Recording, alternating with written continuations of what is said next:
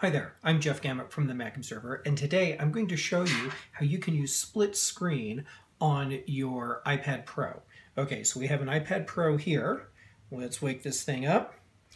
And a split screen is a feature where you can have two applications on the screen at the same time. And you can work with both at the same time, which is pretty awesome. Here's how this works. I'm going to launch an application. In this case, I launched Safari.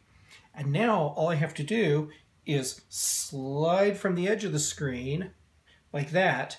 And now you can see I have a second application showing. In this case, it's a drawing application.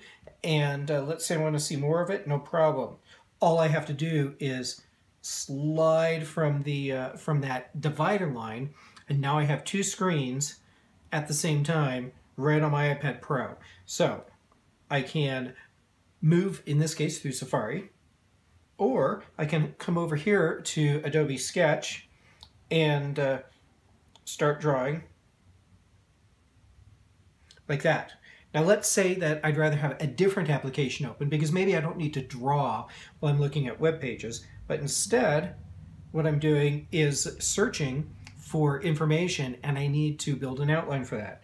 Okay, so now what I did was I slid the screen back over so I have two thirds and one third. Now I'm going to slide from the top of the one-third side down.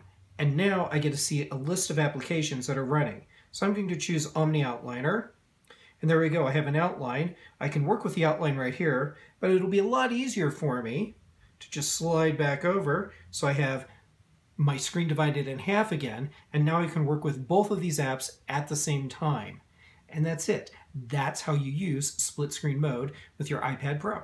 I'm Jeff Gamet for the Mac Observer. Thanks for watching.